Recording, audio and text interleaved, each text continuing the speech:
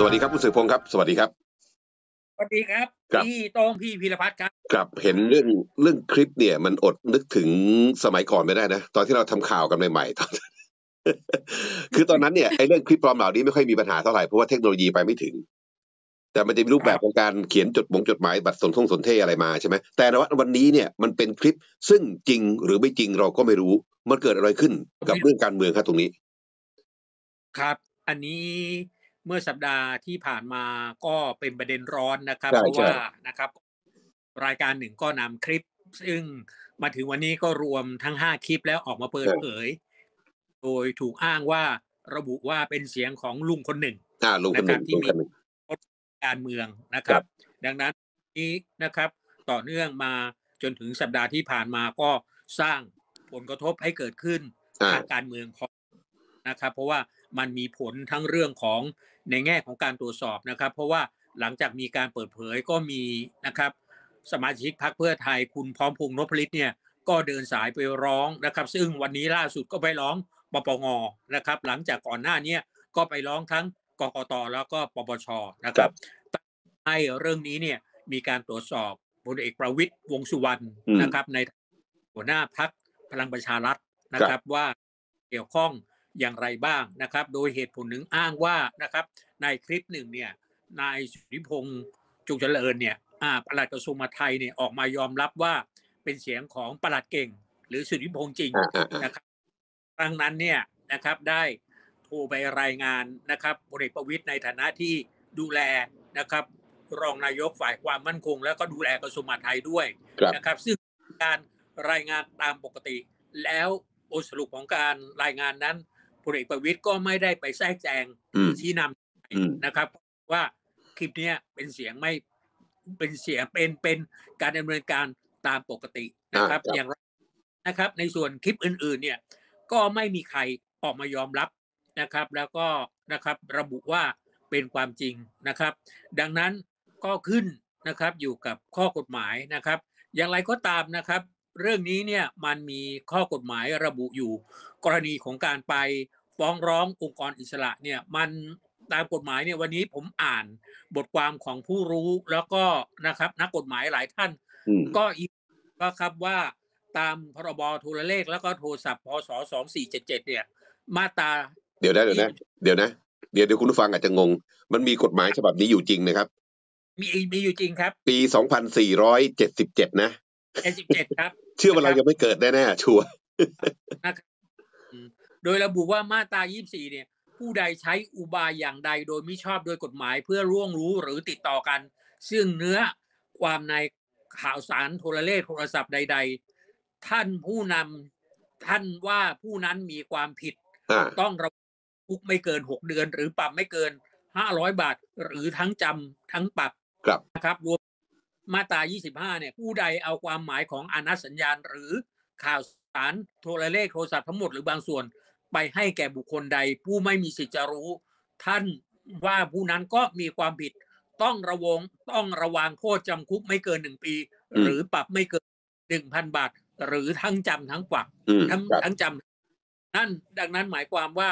กรณีของการเอาเนื้อหานะครับ หรือ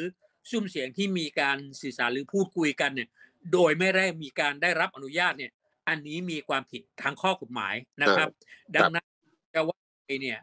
กรณีที่มีการไปร้ององค์กรต่างๆ ให้ตรวจสอบเนี่ย ดังนั้นถ้าหากที่มานะครับของการได้คลิปเนี่ยมันไม่ชอบด้วยกฎหมาย มันก็จะไม่มีผลใดๆทั้งสิ้นอ้าวนะครับ ซึ่งเรื่องนี้เนี่ยก็คงต้องมารอดูนะครับว่าเนี่ยบทสรุปในเรื่องนี้เนี่ยนะครับ องค์กรอิสระต่างๆ ที่ไปร้องเนี่ย จะมีการตรวจสอบและมีบทสรุปออกมาในลักษณะอย่างนี้หรือไม่นะครับ เพียงแต่ว่าเรื่องนี้มีคนก็สังเกตว่า เอ๊ะมันเป็นเกมการเมืองหรือเปล่านะครับอืมเพราะว่าหลังจากมีการนะครับไปผ่านรายการหนึ่งเนี่ย ก็นะครับทางสมาชิกพรรคเพื่อไทยเนี่ย ก็รับลูกทันทีครับนะครับ ก็ต้องยอมรับว่าอันนี้อาจจะเป็นการแก้เกมหรือตอบโต้นะครับ เพราะว่าพี่โตงก็คงรู้ว่านะครับ ก็มีเสียงวิพากษ์วิจารณ์ว่า คนในบ้านป่านะครับ หรือนะครับอ่าทีมงานทางด้านกฎหมายของพรรคพลังประชารัฐเนี่ยก็มักที่จะใช้เกมนิติสงครามนะครับ โดยการไปยื่นให้ตรวจสอบประเด็นต่างๆ เกี่ยวกับเรื่องของนายกอิงอุงอิงอืมซึ่งขณะนี้ต้องยอมรับว่าหลังจากที่นายกอุ้งอิงเนี่ยเข้ามาบริหารราชการนะครับยังไม่ถึงเดือนเลยครับเรื่องอร้องเรียนเนี่ยก็เกินสิบเรื่องแล้ว โดยเฉพาะเรืองไกรเองเนี่ยก็ยื่นเรื่อง เกินไปห้าเรื่องแล้วอืมซึ่งคุณเรืองไกรลีกิจวัฒนะเนี่ย ก็เป็นสมาชิกของพรรคพลังประชารัฐ แม้ว่านะครับ คุณไพบูลย์นิติตะวันเลขาธิการพักจะบอกว่าเป็นการเคลื่อนไหวในนามส่วนตัวครับแต่มันก็เตกันยากนะครับพี่โต้งฮะว่าเรื่องนี้เนี่ยทางแกนนำพักจะรู้เห็นหรือเปล่าใช่นะครับคนว่านี่เป็นกระบวนการตอบโต้กันทั้ง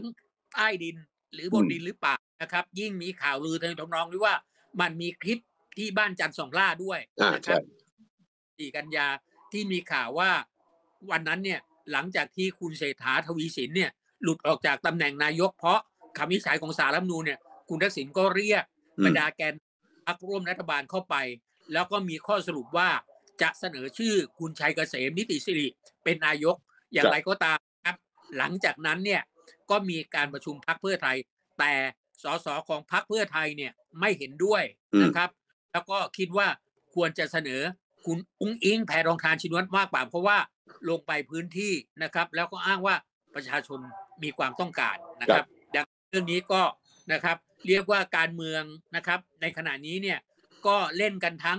บนดินใช่แล้วก็ใต้อย่างไรก็ตามนะครับ ไม่ว่าบนหรือบนดินหรือใต้ดินก็ตามเนี่ยหลักสำคัญก็คือข้อกฎหมายแล้วก็ใช่ความถูกใช่ต้อง นะครับอะไรจะเป็นประเด็นเนี่ยครับ ที่ถูกครับตรวจสอบ แล้วก็พบว่ามีความผิดปกติหรือไม่ครับพี่เออโต้งครับ เดี๋ยวนะ ถ้าจำไม่ผิดเนี่ยเอ่อพร้อมพงษ์ติดคุกมาแล้วนี่ใช่ไหมกูติดคุกมาแล้วฮะติดคุกมาแล้วแล้วครับแล้วถ้าเกิดว่ายื่นเรื่องเท็จแล้วก็ต้องมีการสอบสวนกระบวนการไต่สวนทวนความเกิดขึ้นเนี่ย พร้อมพงษ์ก็ต้องเป็นคนบอกว่าเอาพยานหลักฐานชิ้นนี้มาจากไหนอะไรยังไงถูกไหมนี่แหละครับ ตอนนี้มันมันก็ไปพันกัน ซึ่งผมก็มองว่า พร้อมพงษ์ก็อาจจะอ้างได้ว่านะครับเขาเนี่ยได้รับฟังมาจากรายการหนึ่งนะครับ แล้วก็คิดว่าในฐานะที่มีข้อสงสัย แล้วก็สังคมอยากจะรู้ ก็เลยยื่นให้องค์กรอิสระได้ตรวจสอบ แต่มันก็เกิดคำถามนะครับนั่นสิพี่โต้งครับที่คุณนำประเด็นใดประเด็นหนึ่งเนี่ย มาเคลื่อนไหวหรือมามาเรียกร้องเนี่ยถ้าหากที่ไปที่มาของข้อมูลเหล่านั้นเนี่ยเออมันโดยไม่ชอบด้วยกฎหมายเนี่ยเนี่ยครับคุณเนี่ยจะครับ เพราะว่ามันมันจะไปเข้าข่ายละเมิดสิทธิส่วนบุคคลของคนอื่นนะถูกไหมครับอันถูกต้ออังนนี้นะคือได้กลับบ้านเก่าคือคุกเลยนะถูกต้องนะครับนะครับ เพราะพี่ต้องเราเข้าใจกันดีว่าเวลาขึ้นศาลเนี่ย คลิปหรือการดักฟังโทรศัพท์เนี่ยศาลให้ไม่รับฟังนะไม่ครัรับบฟังพี่โต้ไม่งรับฟังใช่ เพราะถือว่าเป็นข้อมูลที่ได้มาโดยมิชอบด้วยกฎหมายอืมนะคก็รับคืแล้อวกฎหมายตัวนี้ อืมใช่ครับว่าอ่าทั้งพลเอกประวิตยแล้วก็คนงานในทีมงานบ้านป่าเนี่ย ก็ไม่มีใครออกมารับเลยครับ นะครับว่านั้นเป็นเสียงของตนเองครับนะครับ แต่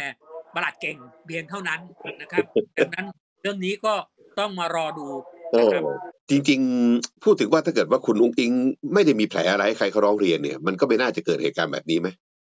ครับนะครับ แต่จริง ๆ เนี่ยพี่พี่ต้องผมก็ยอมรับว่า คือบางเรื่องเนี่ย มันก็เป็นเรื่องหยุมหยิมเกินไปอย่างอ่าอ่ากรในณีความรู้สึกในความรู้สึกใช่ heart เนี่ยนะครับ mini heart เนี่ย ซึ่ง ในระหว่างที่ตัวนายกใส่ชุดขาว แล้วก็ทำในระหว่างการถ่ายรูปหน้าตึกไทย แล้วก็มีเจ้าหน้าที่ทักเนี่ยบอกชุดขาวไม่ได้กะท่านก็เอามือลงนะครับอ่าซึ่งครับผมว่าเรื่องนี้บางทีมันหยุมหยิมมากเกินไปอ่านนะครับ แล้วก็ถูกมองว่า เอ๊ะทำไมคุณไม่เลือกประเด็นหลักๆเอาหรือประลัเด็กนๆใช่ไหมสำคัญเนื้อๆใช่ไหม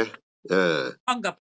งานราชการแผ่นดินหรือเปล่า ซึ่งต่อไปเนี่ย คนก็จะกลายเป็นว่าพวกนักร้องเนี่ย จ้องจับผิดแล้วก็ไม่มีน้ำหนัก แล้วก็ครับจะมีผลกระทบ กับการร้องในเรื่องต่อไปด้วยอ่าครับอ่าแต่ทีนี้เอาละเดี๋ยวเรื่องเรื่อง mini hug mini heart เรื่องคดีท่านนายกอะไรก็ว่ากันไปตามกฎหมายกัน เรายึดหลักตรงนี้เลยเลยนะฮะ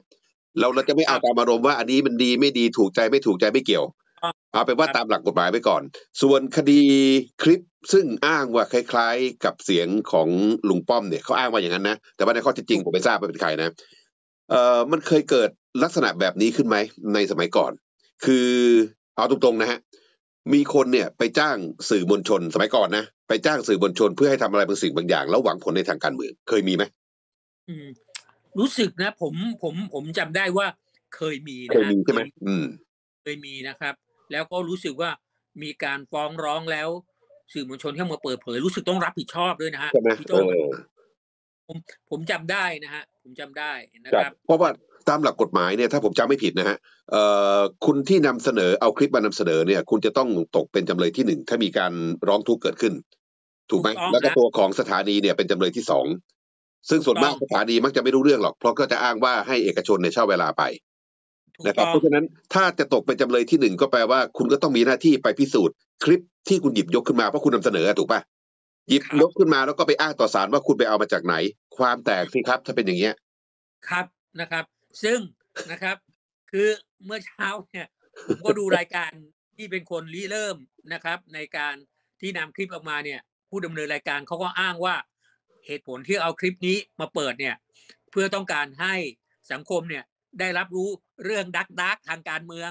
นะครับ ซึ่งเดี๋ยวนะโอ้โหพูดอย่างนั้นเลยเหรอพูดอย่างนั้นเลยเหรอพูดอย่างนั้นครับ พูดอย่างนั้นนะน่ากลัวผมนะฟังคือผมก็เป็นศึกนะมามาหลายสิบปีนะคือทำงานตั้งแต่ปีสามสี่ ผมฟังแล้วผมก็ก็แปลกใจอะว่าผมนั่นว่าสิเอ๊ะมันไม่ใช่อะนะเขาคไปรับเอาเพหลัราะกว่าคิดอะไรมา คือปกติอย่างสื่อพงกับผมเนี่ยเรารู้กันอยู่แล้วว่า เรื่องครับดักดักของนักการเมืองเนี่ยเรารู้ แต่ว่าเราจะเอามานำเสนอเนี่ยมันจะผิดหลักจรรยาบรรณถูกไหมฮะเพราะเป็นการกล่าวหาคนอื่นเขามันครับถ้ารู้เราก็อาจจะเสนอนำเสนอในรูปแบบของการเอ่ยอักษรย่งอักษรย่ออะไรก็ว่ากันไปทำนองนั้นโอ้แต่นี่กระชูเลยเหรอครับครับ ผมพูดอย่างนี้ ก็ผมฟังผมยังอึ้งเลยฮะผมบอกเฮ้ยคิดอย่างนี้เหรอนะครับขอโทษครับ แล้วก็พี่เขาก็เป็นนักกฎหมายด้วยนะฮะอะใช่แต่ใช่ก็อืม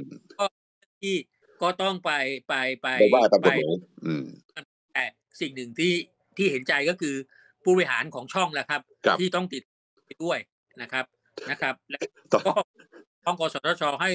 ระงับการออกอากาศด้วย เรื่องนี้ก็ น่าจะเป็นประเด็นใหญ่นะครับอ่าผมก็ไม่ทีแน่นี้ว่าผมในผมที่อยากให้สืบพงษ์พูดถึงพี่น้องประชาชนนิดนึงเพราะว่าเดี๋ยวเราจะตกเป็นเหยื่อ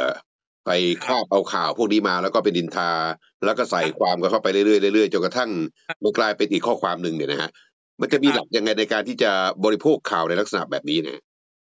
ครับคือนะครับ ในฐานะที่ผมผมเป็นสื่อเนี่ย ถ้าหากเวลาได้ข้อมูลอะไรเนี่ยหนึ่งเราก็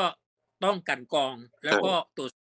อย่างรอบคอบนะครับ โดยเฉพาะผมเนี่ยทำสื่อสิ่งพิมพ์มาประมาณตั้งแต่ปีสามสี่อะพี่โต้งตอนเนี่ยก็เกือบสามสิบกว่าปีแล้วเนี่ยครับเวลาได้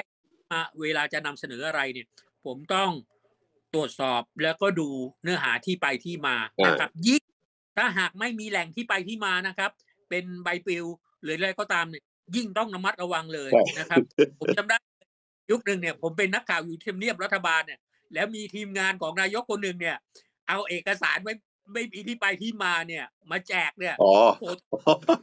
จำได้จำได้จำได้จำได้ ผลิตจากบนห้องเลย ผมบอกชื่อนายกไปเนี่ยพี่โต้งต้องร้องอ๋อแล้วคนที่เอามาแจกคนเนี้ยขอโทษ ตอนนี้เป็นสมาชิกวุฒิสภาด้วยนะครับแต่ผมพูดชื่อไปเนี่ย ทุกคนอ๋อเลยอะหาเพราะตกัอนนหมดนั้นแล้ว เนี่ยเล่นการเมืองอยู่ในสังกัดพรรคการเมืองพรรคใหญ่อืมนะครับ อืมอืมอืมอะเอาละวันนี้แค่นี้ก่อนเดี๋ยวให้คุณผู้ชมแบบกลับไปคิดเองกันแล้วกันว่าที่เราคุยกันเนี่ยเราหมายถึงใครเอาละครับขอบคุณมากเดี๋ยวเจอกันครับสวัสดีครับสวัสดีครับ